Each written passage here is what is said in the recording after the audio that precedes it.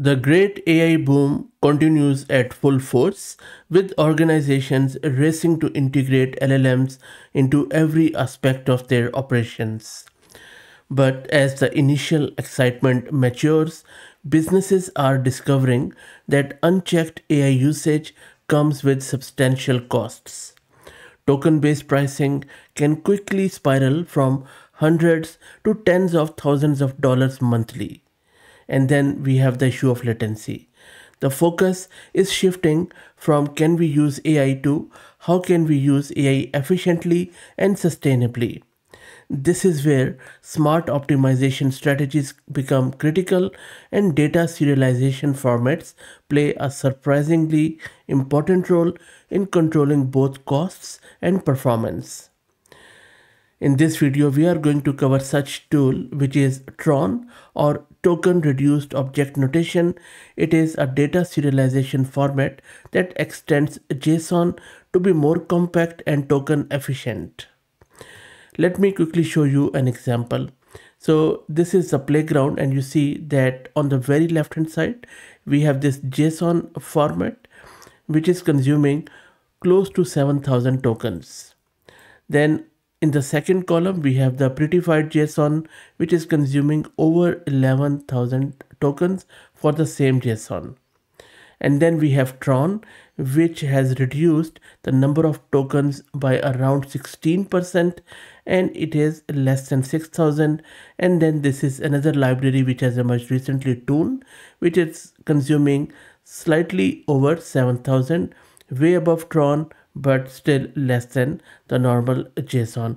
And by the way, we have covered Toon with Ollama already. If you're interested, just go to the channel and search it out.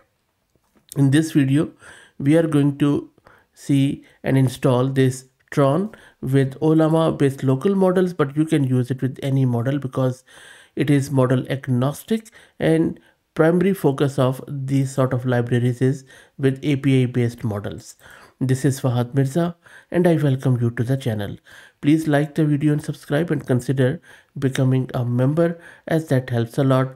Please also follow me on X if you're looking for AI updates without any fluff and hype. So let's get started and also I want to uh, just spend few minutes, a couple of minutes on this Tron. So this is a data serialization format that extends JSON. It eliminates repetitive property names by allowing you to define classes as you can see in this example. So this is a JSON, the full one. And then you see at the top level, we have index. Then this is our items. And then this is where we have total. So we have just called it in a class. Then this is a product class within that and from their order and the list goes on and on and on. So what, what is happening here is it is just eliminating repetitive property names by allowing you to define classes or schemas once, then instantiate objects objects with just values. So this is the whole idea behind it. I will be talking more around it, but for now let's get it installed. So I'm going to use this Ubuntu system. I have one GPU card NVIDIA RTX 6000 with 48 GB of VRAM and I already have Ollama installed. If you don't know what Ollama is, just go to my channel and search and you should be able to find plenty of videos. It's very lightweight. I'm just going to go with GPT OSS model for this video. If you're looking to rent a GPU on very affordable price, you can find the link to Massed Compute in video's description with a discount coupon code of 50% for range of GPUs. Okay, so let's install this thing. The only prerequisite in order to install this this npm i already have it installed. And then you just have to install this library of tron with npm and that is all done. So let me now quickly show you the code. So this is a node script which i'm going to use all this script is doing it is importing that library which we have just installed. It is showing the original json and then it shows the tron format which is more compact. We are using this sample data which i am just putting it around machine learning. Then we are sending the query to the ollama instance just down below. And once that's done, we parse Tron back to JSON to verify the integrity. This is all what is there to it. So let's go back to my terminal and run this. First, I'm just going to initialize that npm init in the root of that repo. And now we have uh, our project file plus our configuration and package.json. And now we can install all the dependencies. If there are any, this should be very quick. Okay, so I just need to um, fix my package.json to make sure that your package.json looks like this with the version number and all the dependencies. Let's go back and run this again. And this time it works fine. And this is a bleeding edge. So you have to tinker with these version and stuff. This is expected. And now let's run that script. So I'm just going to say node app.js and this is our original JSON as you can see these are the total tokens. This is the Tron format. It has converted very nicely into Tron. And then this is the Ollama response. And there you go. Now, if you look at this response, um, the good thing is that the Tron representation is working perfectly. So it has reduced, the, not only it has reduced the number of property names, it has, by removing all the repetitive stuff, you see that it is quite efficient too.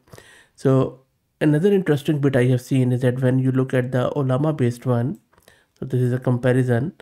So there are a lot of savings, but it has also even the outer objects, if you want to, you can even change them too because most of this tooling, this returns JSON response.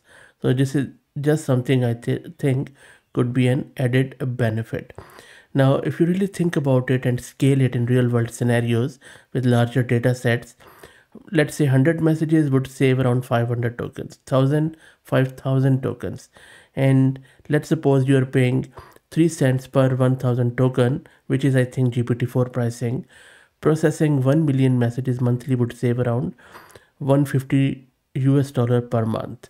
So I think this matters because the value proposition of tools like Tron and Toon and few others which are appearing uh, all over the place, all free by the way, is that it is not only it not only makes a payload smaller, LLMs can read it efficiently because at the end of the day, it is a superset of JSON. So production use with hundreds of messages in conversation history, I think the token reduction always helps. So I'm very happy to see all of these tools popping up if you are using any such tool in production please let me know. Um, if how many tokens are you saving or if you're facing any issues? Because the real test comes when we actually implement it in real projects in production. That's it. Let me know please what do you think? And like the video subscribe. That helps a lot. And if you want to help more please become a member and follow me on x as that helps. Thank you for all the support